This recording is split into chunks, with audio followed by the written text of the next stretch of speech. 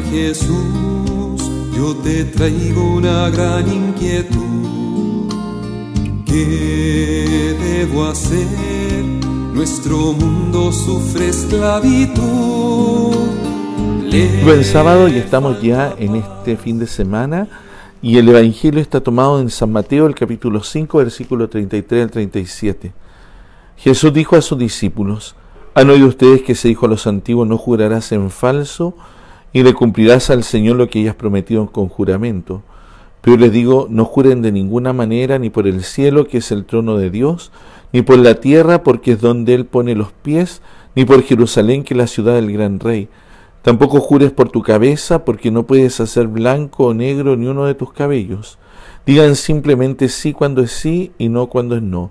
Lo que se diga además viene del maligno palabra del Señor.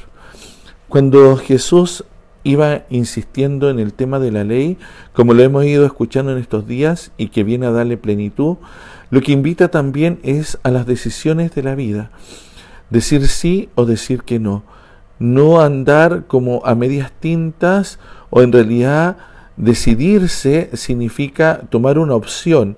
Y en ese sentido esto es lo que invita el Señor. Con esto de no jurar en vano, se refiere también a siempre decir la verdad, porque el que dice la verdad no tiene por qué buscar una justificación o una aseveración en otro lado. Cuando yo me planteo en la vida con la verdad de mí mismo frente a Dios, frente a los demás, no tengo que tener un respaldo, sino que me presento tal y cual soy y al mismo tiempo en esta verdad es donde yo decido sí o no. Esto es lo que yo quiero o esto es lo que yo no quiero. Esto es lo que yo puedo y esto es lo que yo no puedo. Y creo que en ese sentido conviene que a veces nos preguntemos por qué hacemos las cosas, desde dónde nos movemos. Hay veces que nos cuesta decir que no porque tememos que el otro nos juzgue, nos crea que somos malas personas, cuando a veces hay situaciones que no podemos y al mismo tiempo es libre y, justificado también que yo a veces no quiera hacer ciertas tareas, ciertas cosas que, que claro, que no sean moralmente que no sean moralmente malas, porque, porque hay veces que uno puede decir, no, yo no quiero hacer el bien y quiero hacer el mal. No, eso no está bien. Pero a veces puedo optar, puedo estar, sí, quiero ir a tal lado o a tal otro, que pueden ser dos cosas buenas, pero yo decido qué es lo que quiero hacer. Y al mismo tiempo, a veces no podemos todo. Y esto también lo tenemos que tener claro. Hay veces que yo puedo hacer ciertas cosas y hay veces que quisiera algunas, pero no las puedo. ¿Por qué?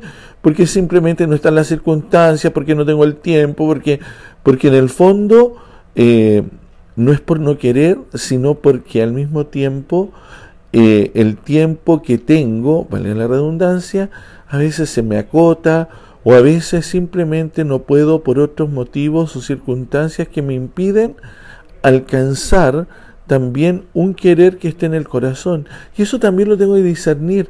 Pero esto es importante lo que dice el Evangelio hoy. Digan sí cuando es sí y no cuando es no. Quisiéramos todo a veces, pero no todo lo podemos. Hay veces que podemos ciertas cosas que no queremos hacer, que también es otra opción, pero tenemos que hacerla porque son parte también de la vida. Y también hay una opción ahí que estoy haciendo, incluso cuando, por ejemplo, a lo mejor en la mañana no me quiero levantar, pero lo tengo que hacer porque tengo una tarea que llevar adelante, una tarea que tengo que a lo mejor cumplir y es parte también de lo que tengo que decidir. Por eso creo que en este sentido el Evangelio de hoy nos invita a las decisiones. ¿Qué decisiones tomo en mi vida? ¿Soy claro con ella? ¿Solo me quedo con lo que me gusta y lo que no me gusta lo dejo de lado? ¿Hago todo o, o solo lo que está en mis manos, lo que puedo? A veces me, me siento sobrepasado. ¿Y por qué me siento sobrepasado? Porque a lo mejor quiero responder a tantos lugares al mismo tiempo y no puedo hacerlo. Creo que el Señor hoy día nos invita a la libertad, a la plenitud y al discernimiento para poder optar siempre en nuestra existencia. Que tengan un feliz día.